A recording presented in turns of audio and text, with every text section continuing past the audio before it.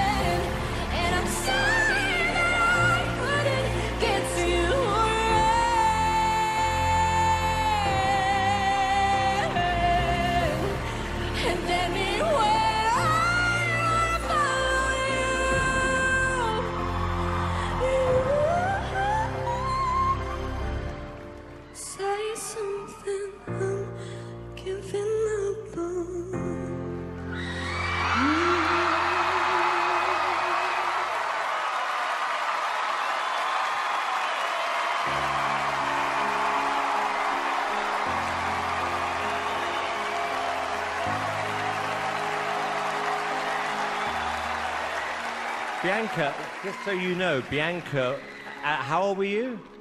Um, I was just 11 when I won. Um, I think without you, we may not have been sitting here today, if I'm being honest with you. You. Bianca, I'm genuinely thrilled that you're back. Thank you. I worked hard. Howie, what did you think? You know, I gotta say that I've uh, I wasn't on the first season, but I watched you, and you were an adorable little girl with the most powerful voice I've ever seen. And I was wondering, you know, what happened to you, and to have these barriers put up, and then to have the wherewithal to, you know, overcome that. You truly are a champion in life. Thank you so much. I'm just, I'm so thankful. That was just amazing. My gosh.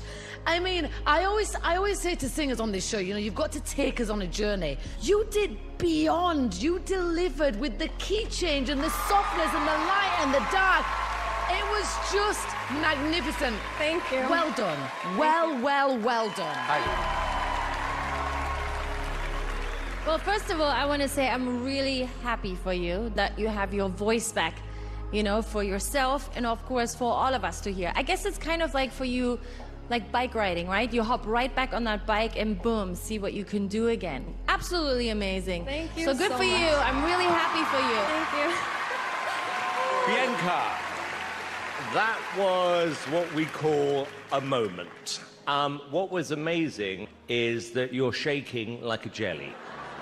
Um, I haven't done this in so long. I know, and that is what makes you so charming. I've got to tell you, this is a show I've always, always wanted to make. I am fascinated to see how America is going to judge the best of the world from these competitions. There's 50 states going to be voting for you tonight. Let's see what happens, but it was a great start for the show. Something's gotta give.